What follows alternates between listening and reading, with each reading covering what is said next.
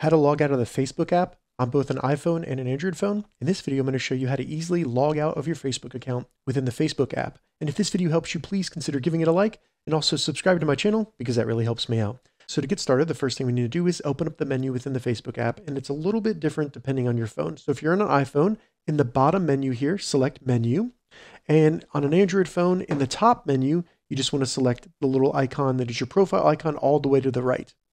Once you're in the menu, all we need to do is scroll all the way down to the bottom and you'll see log out. It's going to be exactly the same in an iPhone. So select log out. Then if you want to make it easier to log in another time, so if this is your phone and you want to be able to log in easier in the future, select yes, but if not, select no, log out now.